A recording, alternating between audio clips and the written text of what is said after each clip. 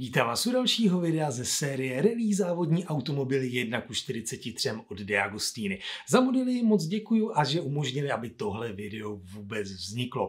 Zase jako tradičně dorazily dva modely, ale tentokrát k tomu dorazil takhle zase i pořadač. Ne, že bychom ho zatím potřebovali, v tamtom ještě nějaký místo je, každopádně je to super, že člověk ví, že se mu to nikde nebude válet a že vždycky bude mít ty časopisy kam zařadit. Než budete koukat dál, určitě nezapomeňte kliknout na odběr a taky na zvoneček. Vám neuteče žádný další video, ať už tady ty malý modely, anebo stavby právě tady těch velkých. A samozřejmě pro mě je to velká motivace v tom točit dál. Ale pojďme se podívat na to, co v tomhle balíku dorazilo. A začneme další velkou legendou. Tak velkou, že si myslím, že tohle auto pozná opravdu úplně, úplně každý na první pohled. Dokonce si myslím, že když vám řeknu dvě indicie, jenom popis, takže to auto taky poznáte. A myslím si, že stačí říct modrá barva a zlatý kola a úplně každý mu hned naskočí Subaru Impreza. Takže tady takhle máme. Model vypadá zase opravdu parádně Jo, ještě se na něj potom koukneme blíž samozřejmě v detailu, ale musím říct, že jako podle mě opravdu povedený, jo, včetně takhle i těch světel, hlavně těch zadních, ale prostě je tam ta modrá, jsou tam ty kola, takže podle mě paráda, tenhle model mi opravdu udělal velkou radost. A s dalším autem se přesuneme do 80. let, takže zase tradičně něco pro mě. A je to tenhle Opel Manta 400 nástupce Ascony, kterou už známe a je to další z aut vlastně skupiny B. Tenhle fešák bohužel přišel trošičku pozdě v době, když už se začal prosazovat vlastně pohon všech čtyř kol v rally. Nicméně to pro nás nemění nic na tom, že i tak je to opravdu povedený model, jo, zejména ta grafika toho auta, tak si myslím, že je parádní. Zase koukneme se na něj potom hezky v detailu.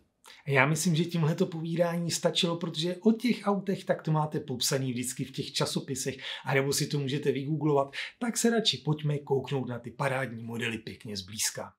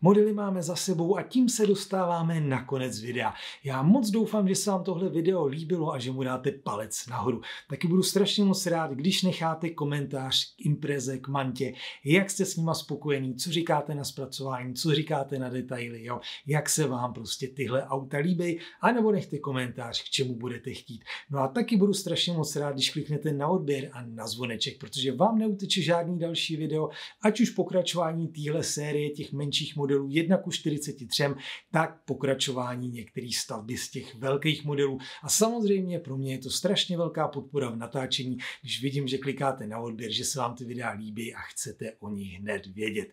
To už je opravdu pro dnešek všechno. Díky moc za váš čas, že jste ho věnovali sledování právě mýho videa a budu se na vás zase brzo těšit.